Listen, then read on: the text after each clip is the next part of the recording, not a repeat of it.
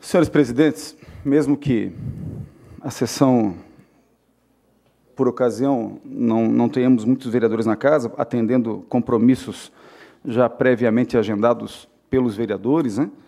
eu, eu gostaria de pedir aqui, vereador Pedro Garcia, que onde é que está? Não está, tá, acho que se, deve estar ali fora. Mas eu vou passar aqui, então, é, que depois eu passo para ele na forma de, informalmente, em gabinete. Quando foi em junho de 2014, em junho de 2014, nós fizemos aqui uma indicação, vereador Ademar Vinta, solicitando ao município que providenciasse de forma muito rápida a passarela metálica aqui da Ponte Maria Gruba. A Ponte Maria Gruba aqui, no lado do Colbach, né, antigo Colbach. Ali houve uma mudança no trânsito, que foi uma mudança importante, que tem a impressão que ajudou na mobilidade, né? não vamos discutir isso. Só que o corredor ali de pedestre, de bicicleta, ficou numa largura de meio metro, 60 centímetros. Eu não consigo dizer para vocês, mas ficou muito estreito. E se nós dermos um, um exemplo de um cadeirante e foi falado de mobilidade agora há pouco, de acessibilidade na sala em U, antes da sessão. Se nós falarmos, por exemplo, de, uma cadeira de roda passando, ou então, sendo um pouco menos apelativo, se falarmos de um, uma cadeira de bebê, um carrinho de bebê, né, que passe por aquela estreita passarela, eles vão ter que se entender. Ou é a bicicleta ou é o carrinho de bebê, porque os dois não conseguem passar. Por Deus, por Deus, até hoje ninguém caiu daquela. Porque de bicicleta é perigoso, o guarda-corpo ali é baixo.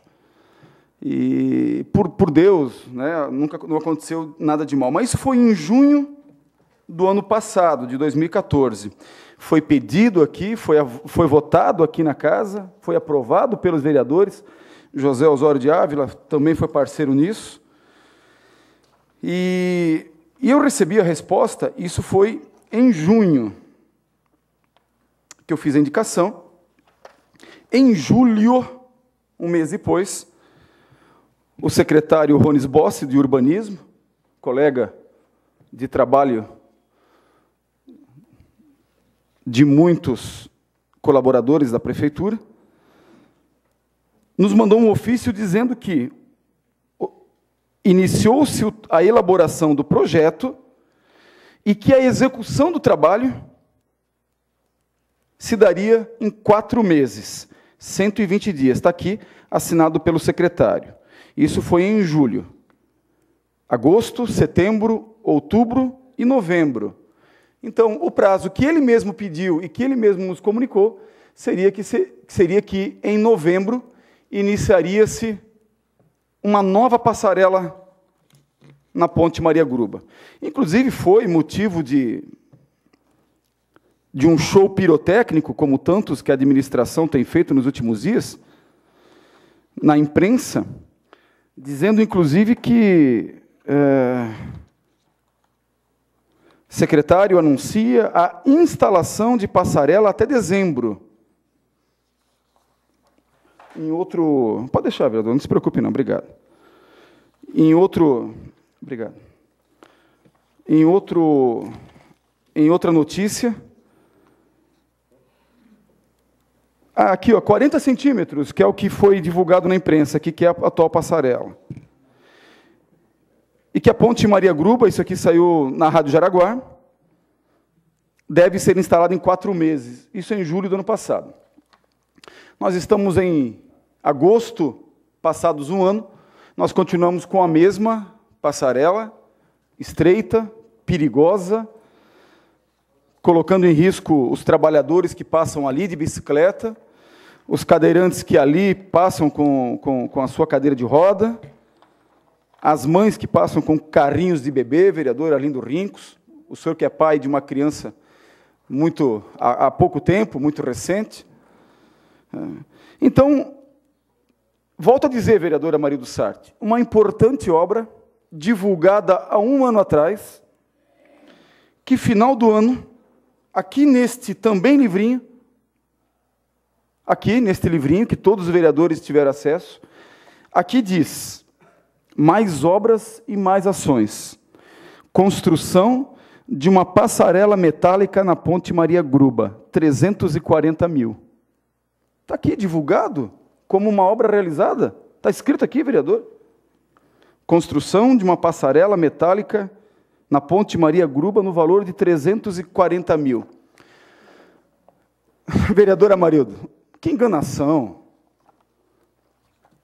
Vamos aqui parabenizar e dizer da importância de coisas boas, como é a creche do vereador Eugênio Jurazek, importantíssimo, e eu sei que vai se, vai se concretizar, mas a gente não pode também querer aqui nos enganarmos como legisladores que somos, dizer e lermos e termos que ouvir, e termos que ouvir de munícipes nos questionar assim, vereador Rincos, onde é que está a passarela que a prefeitura divulgou aqui no material de propaganda da prefeitura? Está aqui escrito. Uma passarela metálica na Ponte Maria Gruba, 340 mil. Não existe a passarela. Não existe a passarela. Aí nós passamos pelo constrangimento de ter que dar explicações. E tem algumas coisas, vereador Amarido Sarte, que não tem como explicar o inexplicável. Né? Não tem como explicar o inexplicável. Passou-se um ano, praticamente metade disso que o secretário divulgou a, a ação, e eu, eu, eu realmente, vereador José Osório, o papel do vereador é muito difícil.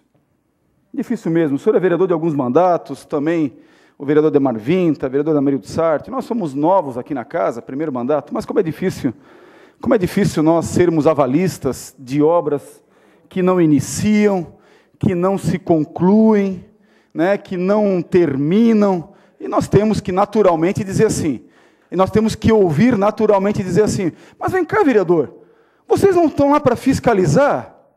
Sim, nós somos os fiscalizadores. Sim, mas o senhor não percebeu que está escrito aqui que foi construída uma passarela e que essa passarela até hoje não existe? Absolutamente nada dela ali no lugar que ela deveria estar. Mas onde é que está o papel fiscalizador de nós, vereadores?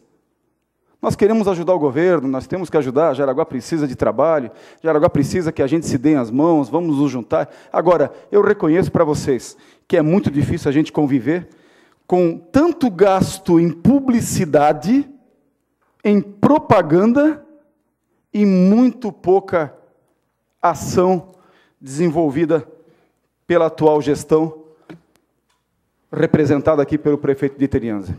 Obrigado, senhor presidente.